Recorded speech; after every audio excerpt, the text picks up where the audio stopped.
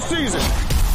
You're listening to Arkansas Preps Weekly on Natural State Sports, your top source for the biggest news in high school sports across Arkansas. Now, here we go, here we go.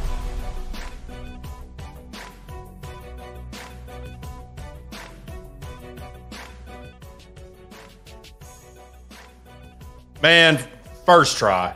Let's try this again. All right. We, we're going to go ahead and get this out of the way. So, uh, the infamous forgetting to unmute my mic that I am so well known for. Haven't done it in a few shows, but that being said, welcome into episode number 32. Now that you can hear me of Arkansas Preps Preps Weekly here on the Natural State Sports Network, alongside the man, the myth, the legend, Kevin Bohannon, also known as the baseball guru, who also does football stuff and is pretty dang good at it in his own right. My name's Kyle Sutherland, and we appreciate you tuning in. It is officially the halfway point of the 2024 football season, believe it or not. I'm Going to talk about some of the conference matchups that we had last week. It was, Kevin, I know it was a really rough week for many of our um, fellow SEC country peeps in the Southeast region. I know Georgia, Florida, North Carolina, even into Tennessee uh, had a really tough uh, outing with the the Hurricanes, and so we want to wish the best to them. And of course, in Arkansas, we got some of the remnants of that, more so the eastern part of the state. But when I went sh- showed up at Cabot for the uh, for the Little Rock Christian game that we called on 103.7 The Buzz Friday, it was pretty submerged for the most part, but drained out pretty quickly, and we ended up having a pretty good football game that we'll talk about here in a second. Yeah, and you know, prayers, thoughts, you know, go out to everybody that was impacted. There were a couple of people that I work with with my day job uh, that were displaced by that. So, you know, getting five gallon buckets and throwing water out of the basement, you know, kitchens being destroyed. It's just, it's a tough deal. Um, that you know, yeah, we've had to deal with it with you know tornadoes and things like that. So it just bring you know brings back uh, the thought that you know humanity is real and Mother Nature is is also real. So thoughts and prayers out. Uh, yeah, weird night on Friday night with you know some parts of the state saw a lot of rain, saw some none, and you, you could really tell looking at the scores. You know, you get a 6-0 score down at Hampton, or you know 78 72 where it didn't rain. It doesn't matter. So uh, yeah, I'm glad we got through it. First conference week is always something that you look forward to. Teams getting off on a hot start, uh, getting that one and zero mark is really big towards you know if you're playing going into November.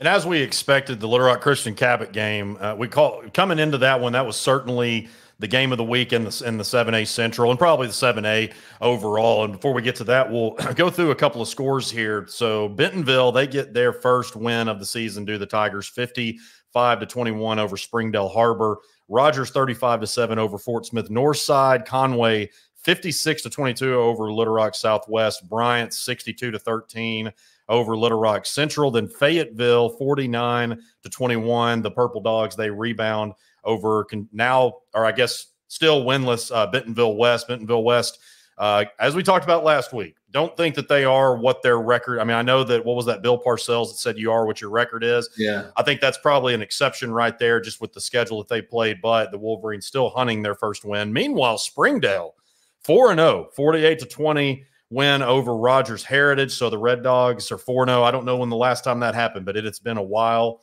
Yeah. Then uh, Pulaski Academy, 47 to nothing over North Little Rock. And Kevin, it's crazy to me I know North Little Rock really since about the 21 22 season, they've just, for what, for multiple reasons, whether it be transfers or whatever the case may be, they've just taken more and more steps back. And, and, this was a tough performance from them. 47 to nothing did the Bruins win, and the Bruins forced six turnovers, five of those interceptions, and then held North Little Rock to two first downs. And I don't know if this is a typo, but I got that they held them to 16 total yards, which is man, that's that's pretty wild. Brandon Cobb with another big night, five five passing touchdowns, then had another one on the ground. Brandon's had a booming start. Year. Yeah, man, I mean, just a huge start for the Bruins this year. So, uh, Pulaski Academy. They win their opening 7A Central game of all their inaugural one, as does their arch rival Little Rock Christian. The Warriors were on the road against Cabot. They come back to beat the Panthers 28 to 24 for their first ever 7A Central victory. It was kind of a strange game as as you as we would have expected. Kevin, like you said, it was pretty wet there, and and ten to seven, Cabot led at the half, and penalties, the run game, that was pretty much the story. Well. Kemp Keller of the Little Rock Christian quarterback, he really got the passing attack going for the Warriors in the second half. He hit Pete Greenwood for what ended up being the game-winning touchdown for with 34 seconds remaining. But uh, massive, ma- it's always. I mean, you could go ahead and say that about any team that won last week. Getting that one and zero oh start in conference play is huge, but it's especially big for Little Rock Christian because they go to Bryant next week, or I can't, or Bryant maybe comes to either way. They play Bryant. Yeah. So that's. Yeah. They host Bryant. So big time win there to start 1 and 0. So that way you don't have to make that game up against uh, you know, a Bryant or whatever. You're at least out ahead a little bit. So uh, this game again kind of what we expected. A lot of running, but really in that second half, Kemp Keller, I think, had his coming out party. He's had a good season up to this point, but to have that comeback win on the road in your first ever seven, eight games, big. Yeah, and that's that was huge for for Keller, you know, coming out of the shadow of Walker White, who's now at Auburn, you know, how are how the offense going to look? You know, you got Jackson Ward back there who got a lot of experience last year, you know, running the ball. We knew this was going to be very physical game. You know, uh, as we're you know listening to the game, you guys did a great job as always. I'm just like thinking, okay, how is Cabot going to you know grind it out right here? Are they going to be able to do it with Keegan Vest? Uh, but you know, Little Rock Christian just you know things just kind of bounce their way, and that's what you need sometimes in these, these tight games. Uh, we talked about the 7A Central and how tough it was going to be among the top five teams. Bryant Conway, and then you had that second group of Little Rock Christian, Pulaski Academy, and Cabot. To be honest with you, Pulaski Academy is playing better than the other three, the other two right now in terms of Little Rock Christian and Cabot. Um, I think PA is comfortably in that three spot, which you know could turn into a two possibly a one, you know, depending on what how they do against Bryant Conway. So there's there's no weeks off. Yeah, you're gonna have your Central, your North Little Rock, and Southwest games, and and we talked about last week with Little Rock Central getting the first win over Rogers Heritage. How would they come out? Would, it would they play close with Bryant for a little while? It was not close.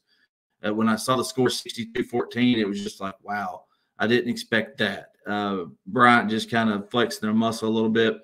And Bentonville West, man, you, yeah, we'd hope they might keep it 14 21, but yeah, another 28 point win by Fayetteville. Uh, Purple Dogs just look really good right now. That offense, uh, Garrett Odom can do it with his legs. You know, of course, he can do it with his arm because he has so many weapons, whether it be Mattingly, Battles, Delmar.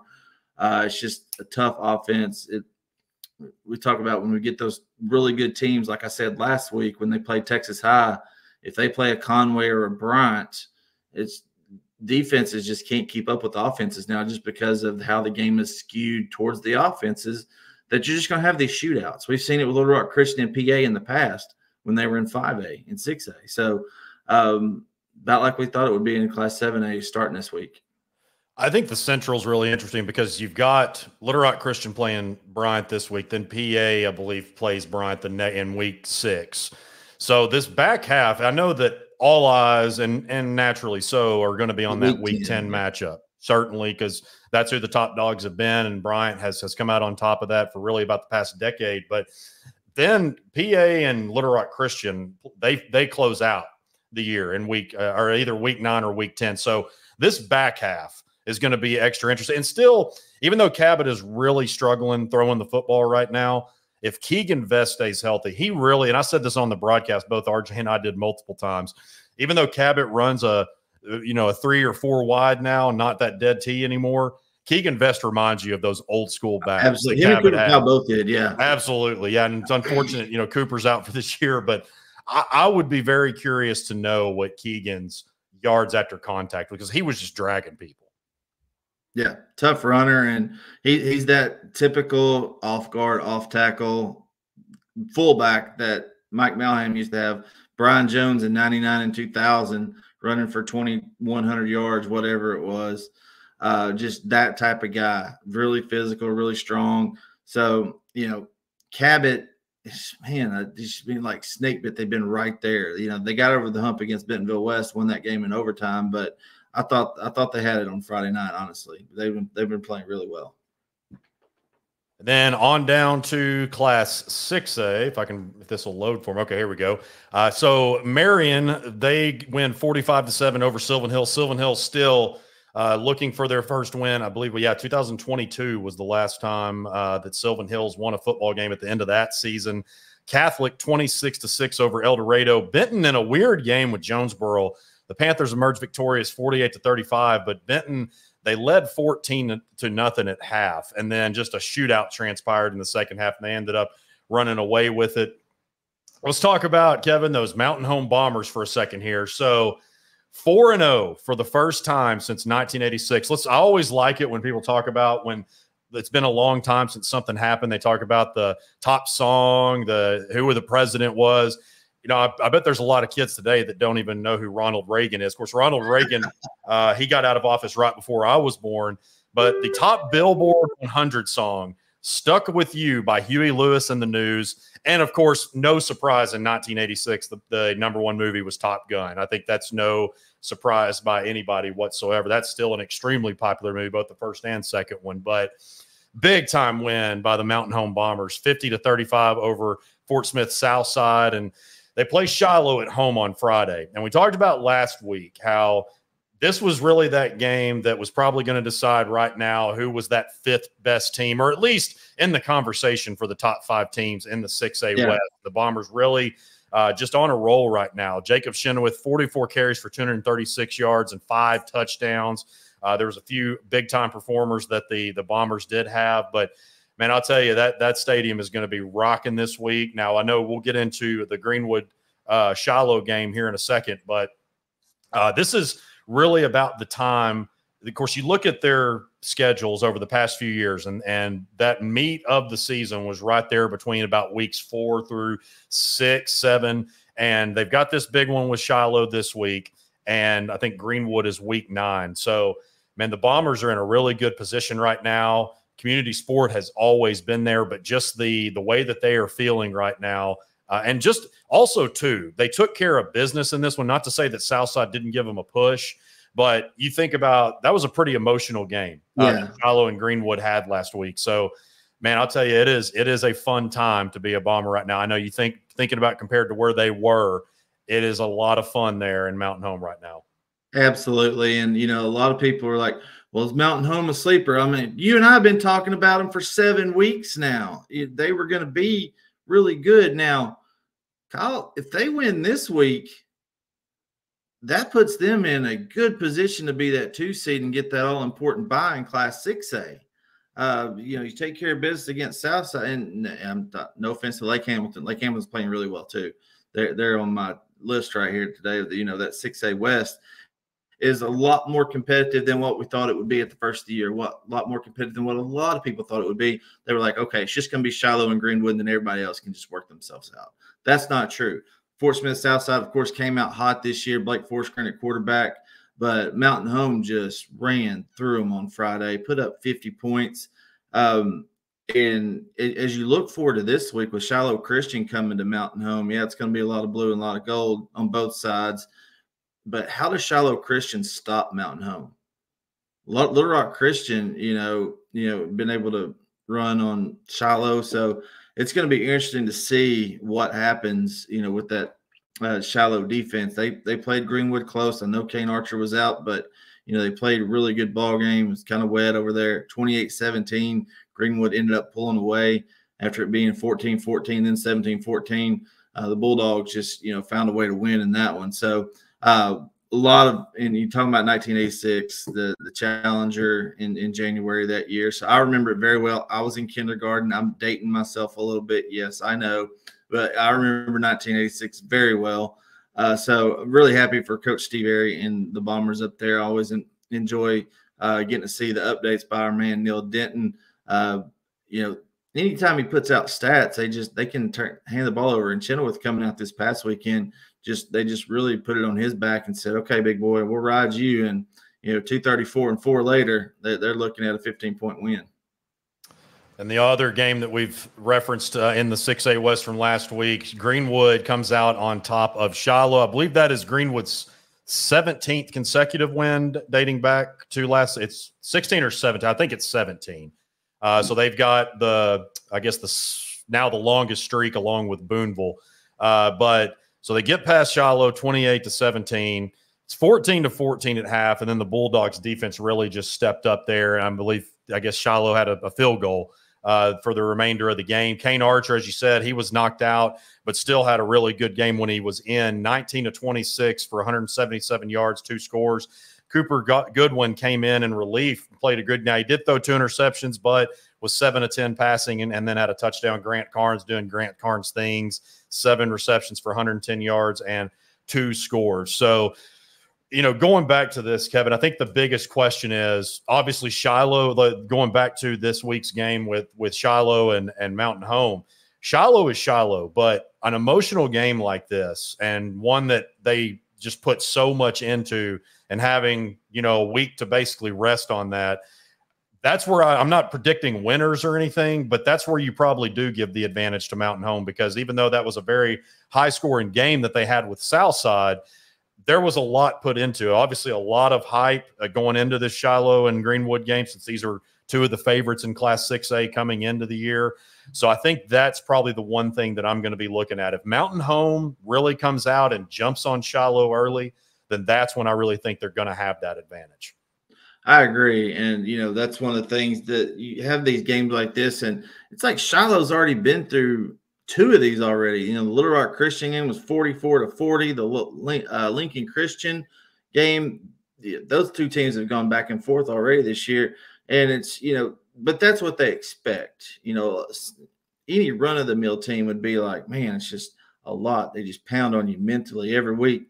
Coming out on the wrong side of it versus the right side, how that propels you into next week. That's just a part of the game within the game in high school football that I love. You know, we had, you know, I remember in 2014 at Sylvan Hills, we go three and zero, oh and we're running through everybody. Our first conference game was at Helena, West Helena, and we lose, and we lose, not expected to. I think it was 28 to 19, 26 19, some you know off the wall score. I mean, we had just you know been beat down and had to bounce back, and you, that was when Little Rock Christian was in the conference, PA was in the conference. That 5A Central was tough back then and you know the kids responded well. These kids are resilient, and that's one thing that you want to look at. That I don't think Shiloh will have a, a problem bouncing back.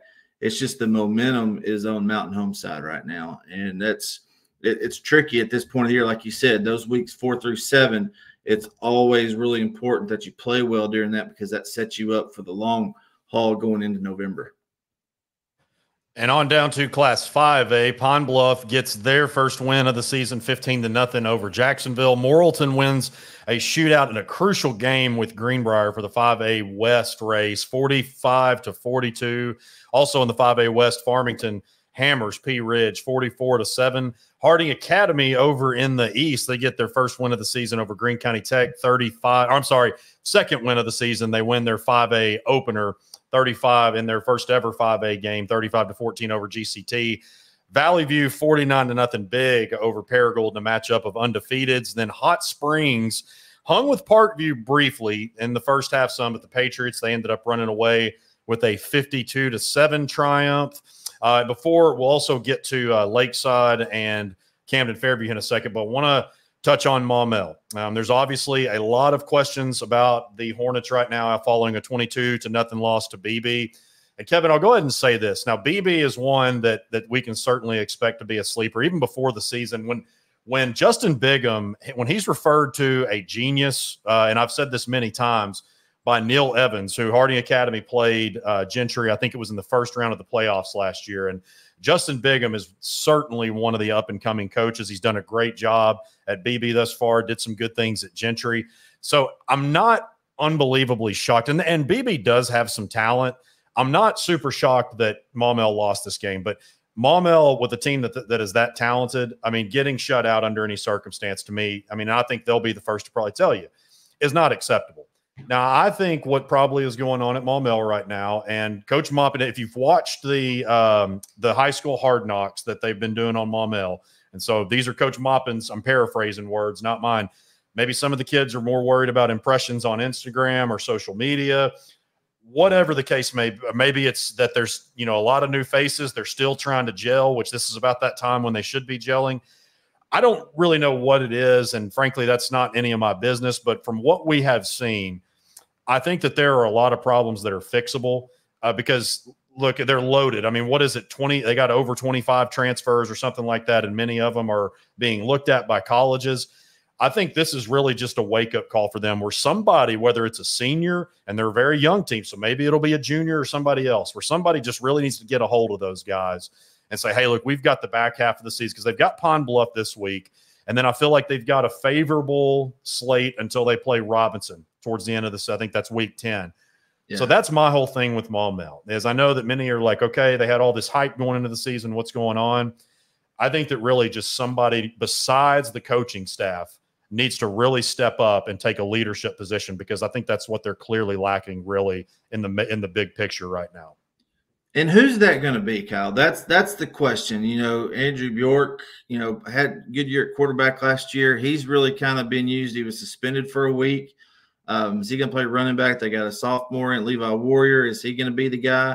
And you can just tell. And and remember, and I'm going to say this: college teams that have really gone to the portal and really flipped rosters every year, those kids are a little bit more mature. They're you know they've been through a lot of things. They they have media training. They have you know, instances to where they have gone through stuff in high school and then their first or second stop at a school to where they can handle stuff. That's one of the things that coaches are looking for.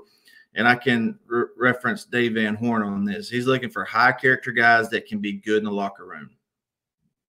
That that contributes to the overall chemistry of a team. When you have a lot of different alpha males in the same vicinity, it always doesn't work out the best. You know, you, you, go back to the 2004 Los Angeles Lakers when you have Kobe, Shaq, Karl Malone, Gary Payton. You know, then you have the big three with LeBron, Chris Bosh, Dwyane Wade. You've always had these teams that are these super teams and they're put together. Well, how are, how are they going to work out? Are they going to mesh? Are they going to be good? And now you're starting to see it at the high school level. And yeah, there's parts of it that are good. The school choice thing is what it is. You know, schools have been doing it for a long time. They've been going and poaching kids. It's just been under the, the radar of, and they've done it legally by the AAA standards. They've done it legally. So who's going to step up? Is it going to be an in, in, incoming guy? Is it going to be uh, the running back that they got from CAC that had 186 tackles last year as a free safety You had 300 yards the first two games? Is it going to be Andrew Bjork? Is it going to be, you know, one of the linemen that's being looked at by Power Four schools that's got multiple offers? Is so that's who they have to rely on. Is it going to be an incomer eh, or they can't call them incomers anymore because they're a part of Maumelle, and that's they got to figure out: are they going to gel as a team, or is the season going to be a wash? Did Parkview actually break them? Is, that because they had looked forward to it and it was going to be such a hyped up game? you know, two teams from Class 5A coming into it that are going to be state title contenders, and then 51 to 6 later, then you're getting beat by Beebe, who's an up and coming school with an up and coming coach. Now you're not just playing for a conference title, you're playing for your playoff life at this point, going into a Pine Bluff game where they have something to prove. And it's just a matter of are they going to allow the season to go off the rails or not?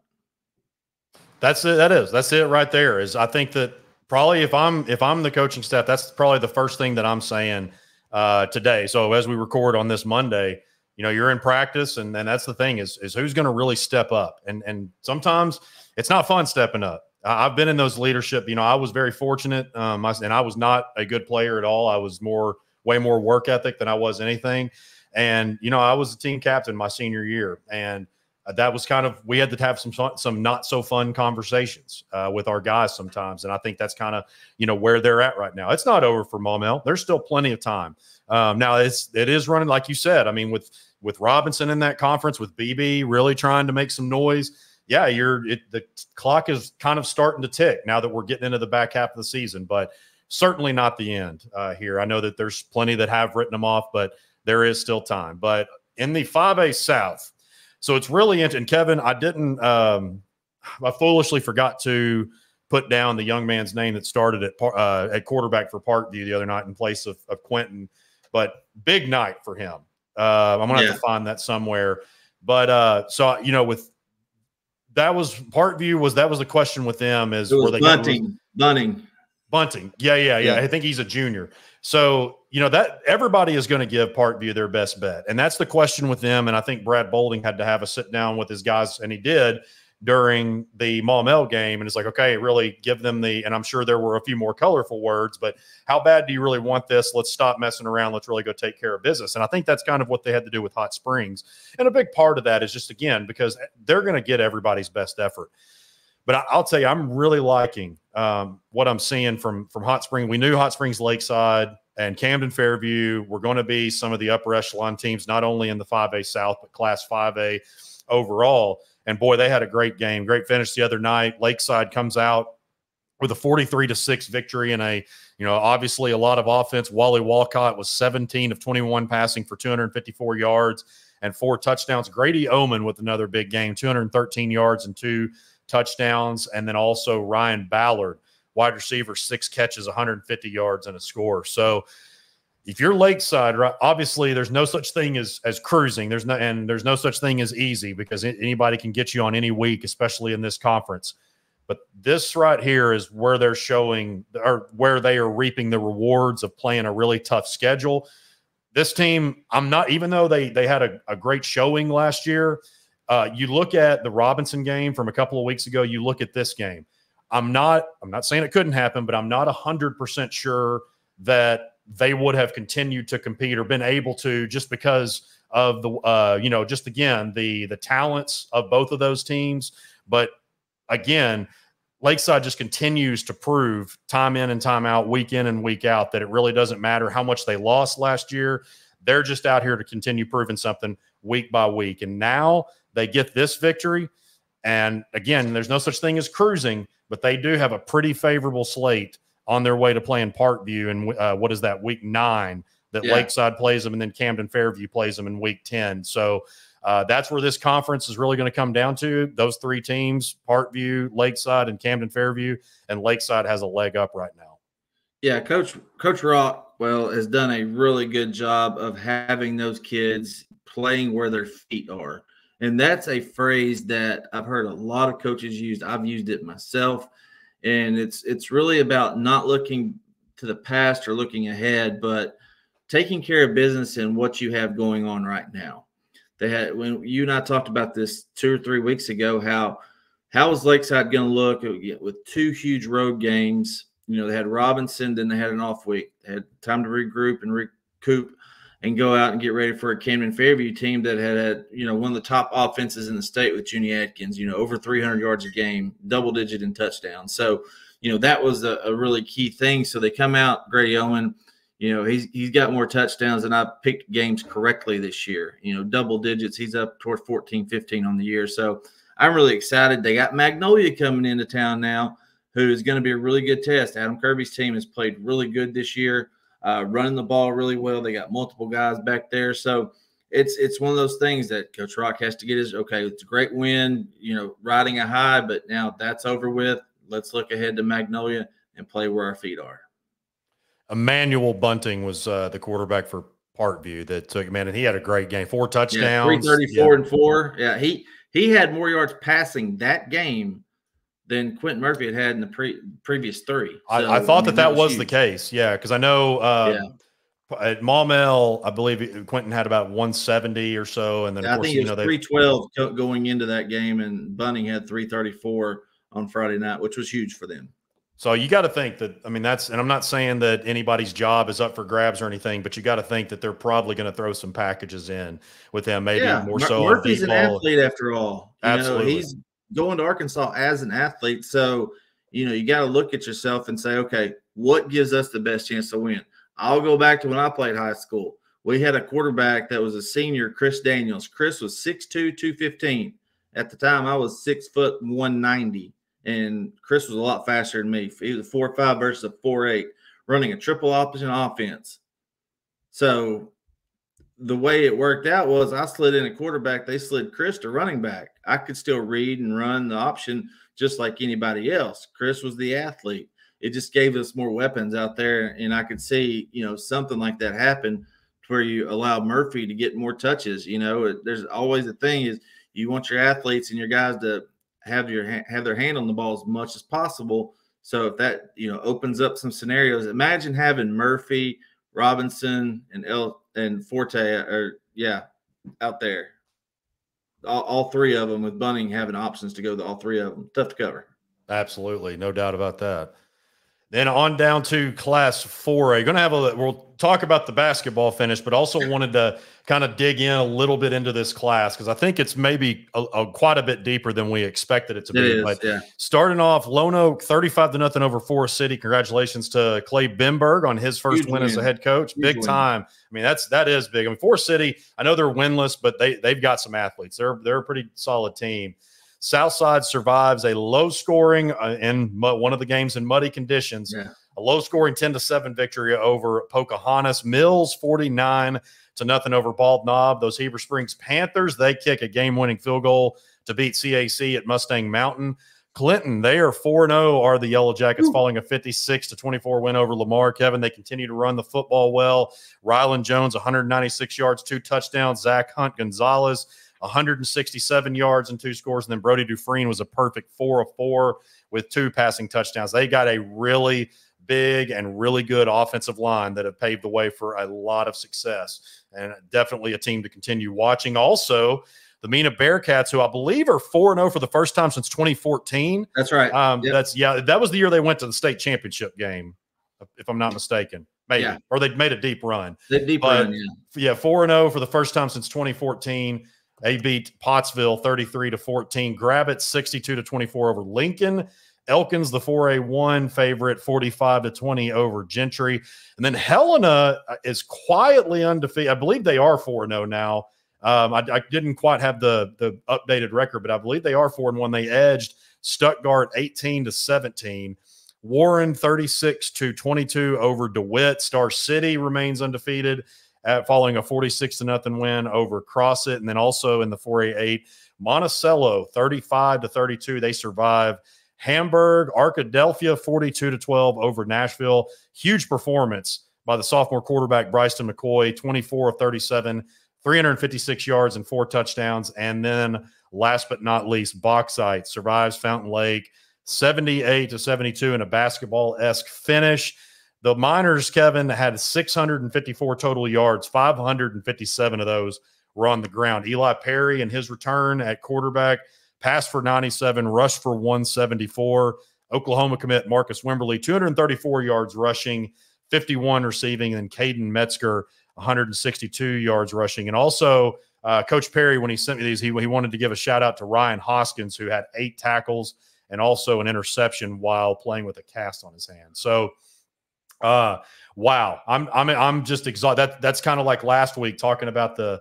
Uh, or I guess maybe two, a couple of weeks ago when PA and West Monroe yeah. trying to dissect that game. But uh, I was talking with Tommy Gillerin the other night, uh, right around this the time that this game finished, and when he was at Fountain Lake, I don't have the score in front of me, but I think he said that 88 they, they 66. 88 to 66. Yeah. yeah. Was it? Yeah. He, he had mentioned that to me too. And so I was like, man, that's, you know, I knew there had been some higher scoring games, but this has been one of those ones that hadn't seen in quite some time. And, you know, Fountain Lake, I think, is definitely, especially coming up from the eight man ranks, and had a had a rough season in eight man last year. And Coach Richardson's done a good job in his in his first year there, coming over from Ashdown.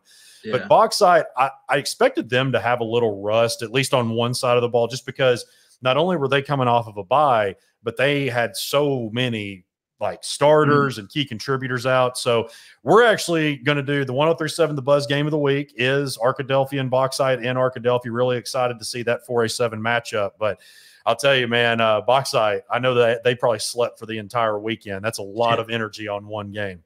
Yeah, and Mena went 12 and 3 under Tim Harper in 2014. They lost to Warren uh, right there at the end. They they were in the 7-4A at the time. It was, you know, tough ride, but they went 12 and 3 their best season since. So uh, I did talk to Coach Matt Richardson, and you know I got some numbers.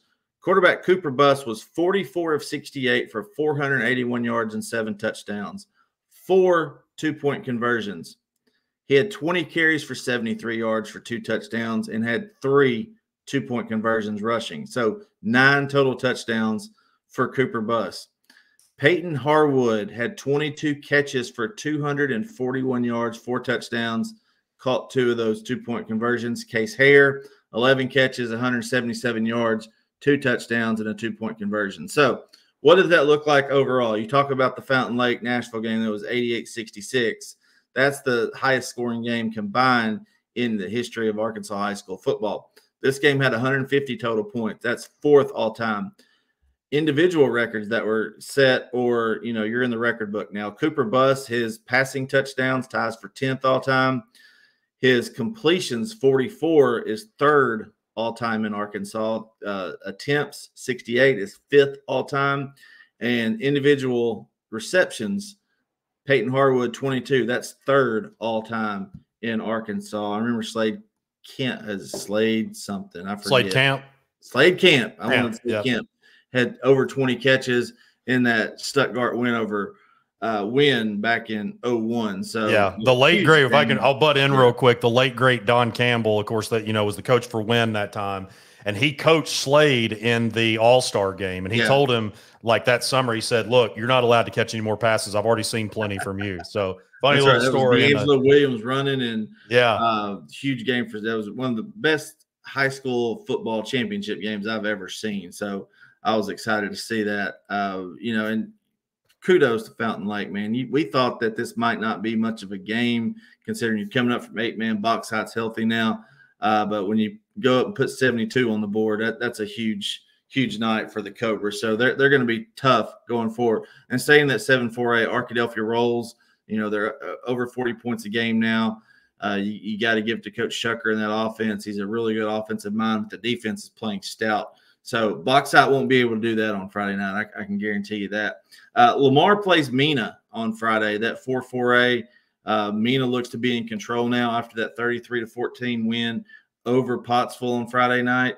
Uh, Clinton, like you said, combined 356 yards uh, from Jones uh, and his backfield mate. Monticello at Warren is an intriguing game. Warren dispatched of DeWitt on Friday night by 14 points, but Monticello playing good football right now. Um, and you know, one 4A Elkins is still rolling. It's just a matter of you know, South Arkansas team's got a lot of attention on them right now. Uh, and we talked to Coach Nathan Couch from Southside Batesville on Friday, and you know they're just glad to get out of it. Ten to seven over Pocahontas. Pocahontas has had some close games this year. They lost to Salem early on, and then they've just been right there. Uh, Coach Chester, the Redskins, they they could be trouble coming into the season if they put it all together. And that was what I was going to go before we head on down. I was just now that we're at the midway point of the season, you know, before the year, it was war, the typical ones Warren and Arkadelphia, Ozark was in that mix. And just looking through the conferences here. So 4A1, yeah, Elkins until somebody says any different.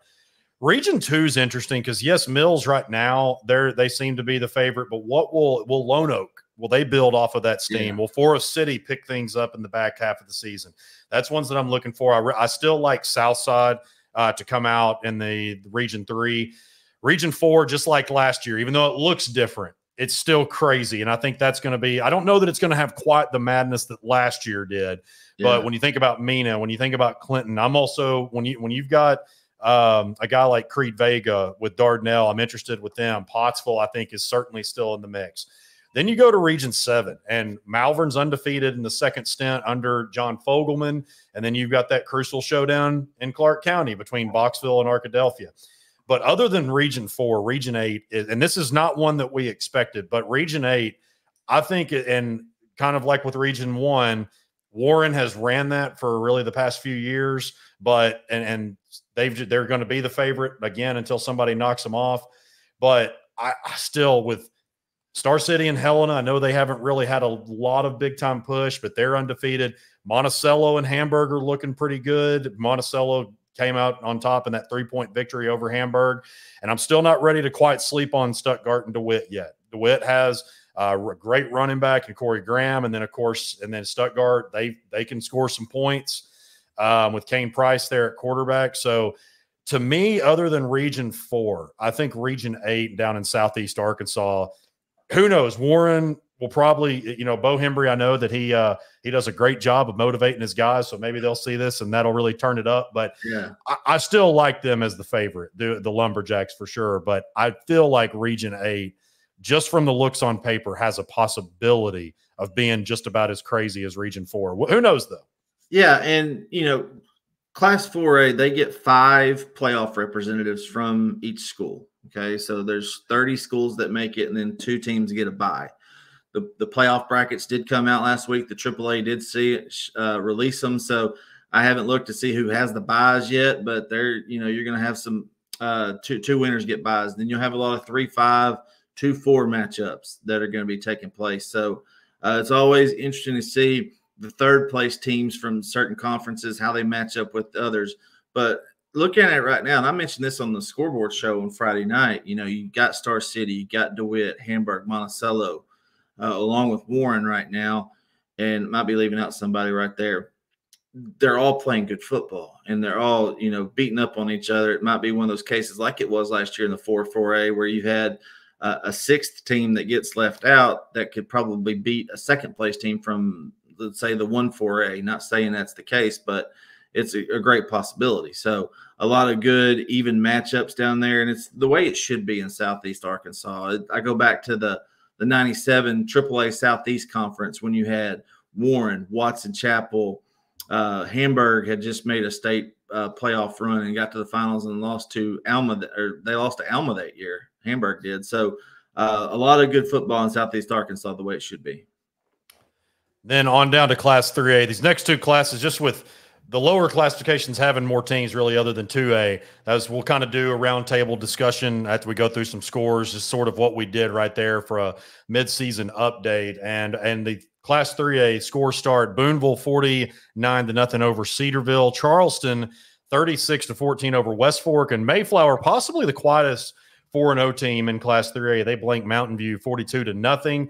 Walnut Ridge also pitches a shutout 38 to nothing over Manila. Rivercrest 40 to 14 over Harrisburg. Osceola 44 to 7 over Hoxie. Newport 56 to 18 over Piggott, and then Salem 36 to 3 over Melbourne. Jessieville comes out on top, and what I have gathered was a bit of a controversial ending over Mountain uh, over Magnet Cove. 37 Yeah. to 30. Yeah, we'll, we'll talk a little bit about that one. Prescott 43 to 8 over Fouke in the battle of undefeated teams. Center Point uh, is they're they 4 and 0 or 3 and 1? They're Three they're doing one, well. 3 and 1. Uh 46 to 18 over Horatio, then Bismarck who is just really off to a banger of a start 55 to 8 over Parker's Chapel. Fordyce 42 to 6 over Barton, then Rison 24 to 0 over Palestine Wheatley. Also, Dumas, they snapped their losing skid in a 28 to 6 win over Lakeside Lake Village. We'll go real quick back to uh, Jessieville. So, Kevin, from what I had gathered, uh, there was a question about the spot. Uh, and really, with the final seconds left, it looked like, of course, depending on who you ask, I haven't seen video or anything, but um, it was a toss on Magnet Cove. Magnet Cove does a toss play, thinking they scored. Uh, that that didn't happen. I, I'll let you explain because that's really about all I remember.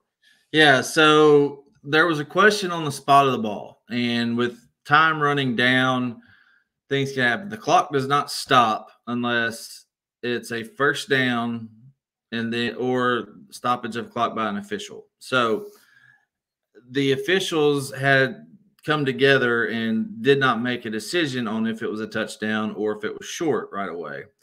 And as the clock keeps running down, time keeps running off, they need to get a decision. They spot the ball. There wasn't enough time to run a play. They didn't get it off. Time expires. Ball game, Jessieville. Now, that's Jessieville's third come from behind win, which puts them in good position moving forward. They're playing with fire. They're coming out on the good side of it right now. In my opinion, as an official that has worked hot, yeah, I've worked some good games. I've, you know, called in state championship games. What should have happened at that point is, and the AAA may come out and make a ruling on this, but this is my opinion. Okay. I just want to say that, state that. If there was a question about it, they should have come, the officials should have come together as a group, stop the clock. Once the ball was set, the White Hat would have started the clock at that point. Now, it would have upset Jessieville, but in terms of making sure to get the right call, and my dad has always said this, I don't care how long it how long it takes us, we're going to get the call right. We can go, we can deal with stuff from there. So that's what happened. That's what we were told. That's what I interpret everything that that happened. But it should have stopped it, placed the spot, then restart, then go. It may have been one or two seconds left, but that's just the way it is. And, and apologies to Kerry Rogers and the Center Point Knights. They are 4 0 right now with that win over Horatio. The, their best win so far is a 38 24 win over Fountain Lake. Uh, that looks a lot better right now for the Knights. So, you know, Class 3A Bismarck at Smackover this week. Uh, that's a huge game. Smackover got beat 50 to 42 by Harmony Grove, Ouachita County on Friday night. So how Smackover, you know, comes back. We talked to our man Dylan Ward. Uh, he said that, uh, which we already knew, Mitchell Polk was the real deal. But you know, Harmony Grove had a really good night rushing the football. Uh, quarterback play has been really good for them. And then you got Rivercrest and Newport. Man, it's the three three A is everything we thought it would be and more. But I think you know when you talk about Prescott, talk about Booneville, Newport is that third team right now. Uh, and I made this statement yesterday. Look, Rivercrest has Cavante Washington, and he's had games where he's had six touchdowns, five, six, seven, doesn't matter. He has some weapons, but Newport just has more. They've got four or five Cavante Washingtons out there, and I think that's the difference. Plus, the game is at Newport on Friday night.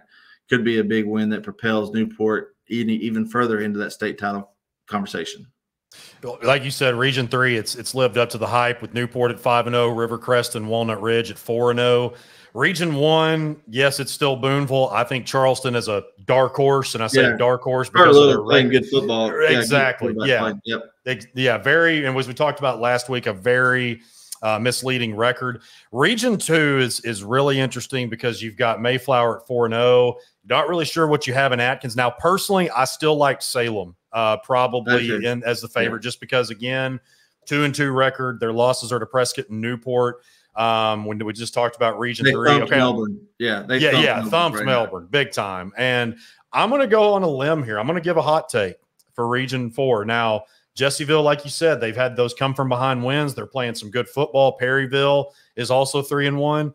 I'm going to say Glen Rose at one and three. I'm going to yeah. I'm going to go ahead and predict that Glen Rose has a strong back half of the season and Glen Rose win. They get the one seed. I'm going to say that here on September 30th as we head into to week what is it week five now? Uh, yeah. Uh, I'm going to say that Glen Rose comes out on top in this region four, region seven. All respect to what Centerpoint is doing, but I think I just don't know that they have quite what I'm not. I don't know that they have quite what Bismarck and especially Prescott has.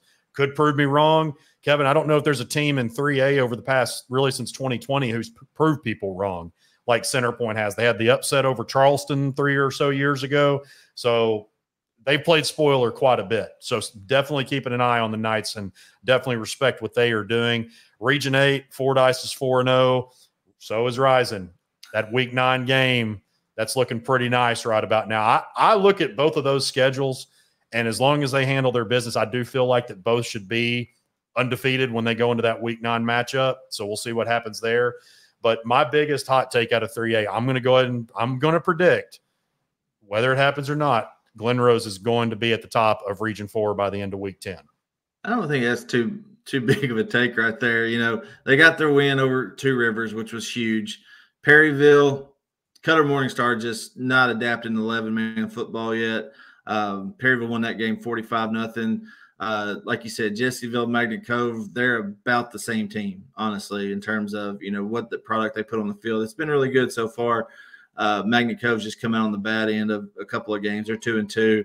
Uh, but yeah, Glen Rose, the more those young guys play, the better they're going to be. Yes, they took it on the chin against Bauxite 42 to nothing. Yeah, they took it on the chin against Bismarck. But it's just going to be one of those situations to where they keep going, keep going. They're going to be okay. I agree with that. And last but not least, in 2A, Bigelow finally gets over the hump, gets their first win 45 to 12 over Magazine. Conway Christian blanks Mountainburg 44 to nothing. East Poinsett County big over Izard County consolidated 56 to 6. Des Arc rebounds from its loss to Carlisle, 44 to 8 over Earle. Marked Tree shuts out Marianna Lee 22 to nothing. McCrory. How about those Jaguars? They are 4 0 after beating Cross County 26 to 14. Junction City 49 to 6 over Foreman. Murfreesboro 22 to 7 over Gurdon. Mineral Springs 56 to 20 over Spring Hill. And then in the 2A4, you mentioned earlier, Hampton comes out on top 6 to nothing over Clarendon. Hazen squeaks past Bearden 14 to 12. And then Carlisle in the game that we talked a good bit about last week, big time over Baptist Prep 56 to 7. Ty Tanksley, 8 for 12, 203 yards, three touchdowns. Jaden Elliott with another huge game, 136 yards and two scores on 11 carries. And Kevin, as far as just a, a roundtable discussion on this, and it's I, the smaller classifications in just about every sport kind of get like this, and even in the bigger sports where there's not basically the comp, the classes where there isn't as many teams you start to kind of get to where you run out of things to say. Now, yeah. I think that other than Carlisle being the top dog, and really it's not, I still right now would probably say it's not close just with how consistent they're playing, uh, how well coached they are. But this week, so in the 2A2, you've got McCrory at EPC. I think that that's going to maybe tell kind of some things as far as the back end of those playoff spots, but really yeah. the game of the week in 2A, Junction City at Mineral Springs. You've got a case of two two and two teams that, by all accounts, excluding Carlisle, were probably people's favorite for the state title going into this season. Yeah. Things didn't start off as well for uh, Junction City, Mineral Springs, who both played tough non conference schedules. This could be the game right here for either one of those where you get that momentum, you win that game, and then you propel yourself towards possibly getting that number one seed out of the 2A3. That's exactly right. So, you know, Mineral Springs back to back weeks over 50 points. They beat Quitman two weeks ago, 54 49. Javion Fricks is having a phenomenal season once again. He's one of those guys averaging 14, 15 yards a carry. And they put it to Spring Hill, you know, the other night. One, you know, Murfreesboro and Gurdon, that game was a little closer. I know it was, you know, sloppy down there. They Murfreesboro pulled that one out 22- to nine. Uh, Hazen, good win uh, for Coach Joe Basankin. Uh, 14 12 in overtime. You know, take it what you can get. Poyen Indians rolling. They're three and one. That may be Carlisle's next game that they have to worry about. I don't think it's going to be much, but uh, like you said, Carlisle's just playing well. The game really kind of intrigued me. Mount Ida and Conway Christian this week. Okay, so yeah, Conway Christian and Bigelow have been the two teams in that conference, and They've developed a little bit of a rivalry as of late, but Mount Ida could maybe cause some problems for Conway Christian, but I don't see him coming out of that. And you know, but just look, as you mentioned, Kyle, you know, Carlisle, what they did to Des Arc two weeks ago, you know, and thumping them the way they did was thirty six to six or something like that, and Des Arc beats Earle forty four to eight. That just shows you how far between the top teams in the state are versus the other guys. You know, you got four teams right now, in my opinion. You got Carlisle, Mineral Springs, Junction City, and Conway Christian. Those are your top four. After that, who knows? We'll we'll figure it out, and they'll figure out the twos and the threes coming in the next few weeks. So, uh, Baptist Prep's going to have to rebound. Look, it's it's a fun offense to play in, but when you run up against somebody that just can play all three phases of the game at a high level, you just sh- it shuts you down. And it's not the fact that Carlisle won. We knew Carlisle probably going to win this game. The fact that they beat them by 49 points says a lot. You know, Gary Wilson and his club wanted to come out and make a statement. Look, yeah, it's fun. You're doing this, but the Junction City win wasn't a fluke. We're the top team. We're the top dog right now. And now everybody's got to chase us. So um, it, that was that was a statement win by Coach Gary Wilson and the Carlisle Bison. Yeah, I think that's my thing with with Carlisle right now. Is I mean, as we said, their opener against Drew Central, yeah, Drew Central's down, but Kevin, they've just, I mean, they're just so well coached. I mean, they just do everything with that they're supposed to do. Gary Wilson, you know, it's his second year as head coach, and he was on staff previously under Caleb Shock when they made that rebound from 2021 from what was it one win to going yeah. to the state final. He, I mean, he's really uh, been impressive. And I know that you know he's going to be the first one to uh, credit his staff as he as he should to credit the community. But uh, he has really made his way up the coaching ranks in just two years, not even two years just yet. So, Don't forget, we've got volleyball coverage now on Natural State Sports. You can check that out every Monday. We've got the top performers from the week before, as well as the top 25 rankings for all classifications. That's how Jeff Halpern does it. He does it regardless of.